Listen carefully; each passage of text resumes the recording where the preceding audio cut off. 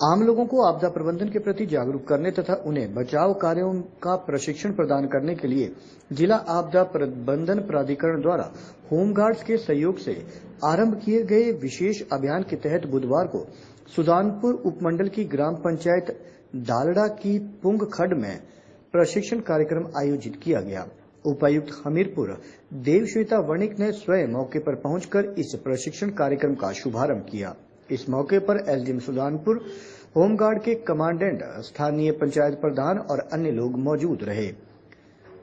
हिमाचल प्रदेश के पूर्ण राजत्व के स्वर्णिम जयंती वर्ष के उपलक्ष्य पर आयोजित इस कार्यक्रम के दौरान होमगार्ड्स के प्रशिक्षित दल ने स्थानीय लोगों को आपदा प्रबंधन और बचाव का प्रशिक्षण प्रदान किया और उन्हें रेस्क्यू का अभ्यास भी करवाया। इस दौरान छिहत्तर लोगों को इस प्रशिक्षण शिविर के लिए river crossing Burma bridge crossing rappelling और रेस्क्यू से संबंधित अन्य गतिविधियों का अभ्यास भी करवाया गया। इस दौरान होमगार्ड के कमांडेंट सुशील कुमार और प्रशिक्षित महिला एवं पुरुष होमगार्ड्स ने लोगों को आपदा प्रबंधन एवं बचाव कार्यों की बारीकियों से अवगत भी करवाया।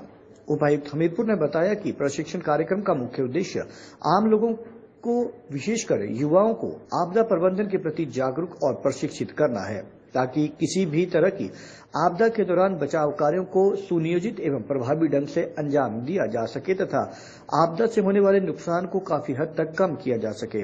उपायुक्त ने कहा कि आपदा के दौरान रेस्क्यू करते समय स्वयं की सुरक्षा भी महत्वपूर्ण होती है। स्वयं को रक्षा का ध्यान करते हुए हमें दूसरों का बचाव करना होता है। उपायुक्त ने कहा कि भविष्य में जिला के अन्य पंचायतों में भी इस तरह के प्रशिक्षण कार्यक्रम आयोजित किए जाएँगे। स्वर्णिम हिमाचल की एक्टिविटीज़ में आपदा प्रबंधन और होमगार्ड की जो बटालियन है, उनके समन्वय से ये डिसाइड किया था कि विभिन्न सब डिविजन ब्लॉकों में लोकल लोगों को छोटे बच्चों से लेके जो बड़े हैं, सबके प्रशिक्षण और सेंसिटाइजेशन के लिए छोटे छोटे बड़े सेफ़ तरीके से जो है होमगार्ड्स की टीम इस तरह की कुछ कुछ गतिविधियाँ जो अक्सर डिजास्टर के समय पे, और अदरवाइज़ डिजास्टर ना हो तो एक तरह से एडवेंचर स्पोर्ट्स के तौर पे जो है, अक्सर की जाती हैं। और इन एक्टिविटीज़ को लोगों को आम, आमजन जो भी हैं जो भी इंटरेस्टेड हैं वो आके कर सके। ऐसे कुछ शिविर करने का जो है निर्णय लिया गया था।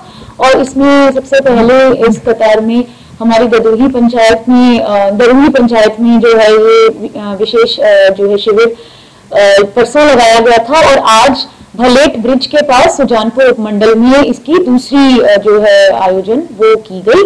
और होमगार्ड्स के कमांडेंट और उनकी पूरी टीम एस डी सुजानपुर और साथ में जो लोकल पंचायत के प्रतिनिधि हैं, उन सबने भी उसमें भाग लिया।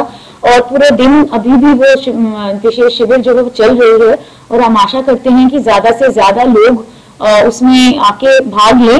अभी मौसम बिल्कुल साफ़ है और पूरी टीम जो है, पूरी सेफ्टी के साथ इस पूरी गतिविधि को अरेंज कर रही है।